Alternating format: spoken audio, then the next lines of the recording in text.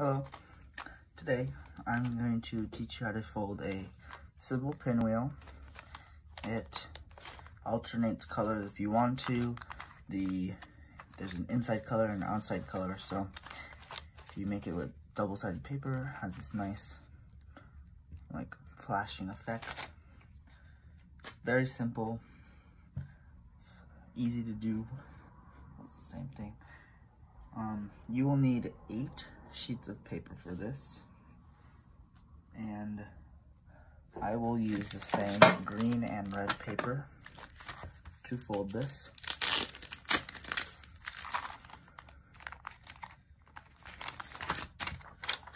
One, two, three, four, five, six, seven, eight.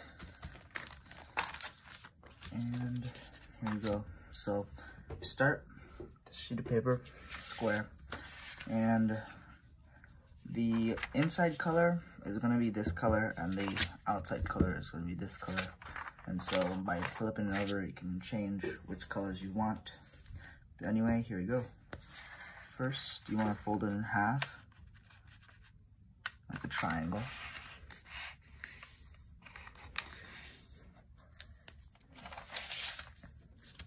Then you want to turn it so the line is facing forward.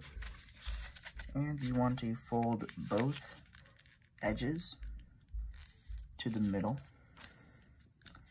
like this.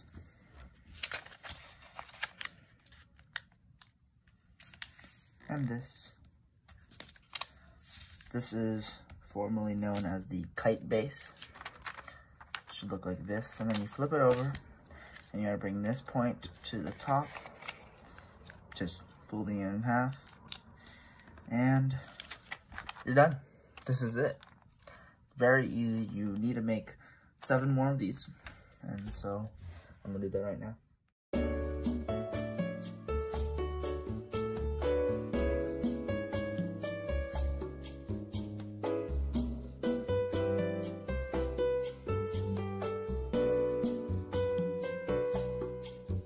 There you have it. We have the eight pieces.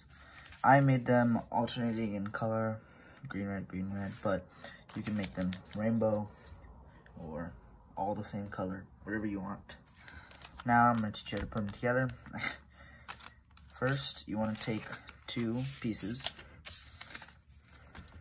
and you want to flip them over, both of them, so you can see these diamonds. And as you can see, there's a pocket right here so you want to slip it in so that this edge kind of locks into this edge. And you can see the middle points should go together. So slip that in.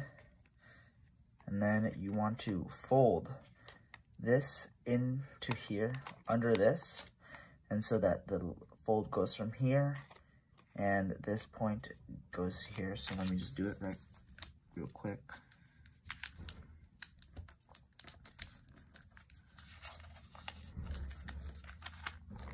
And as you can see, um, from the front, it doesn't look like anything, even though it's folded right there. So that's what you're looking for. And on the back, it's completely locked and nice and good. And so you want to do that for the rest of the models, uh, for the rest of the pieces.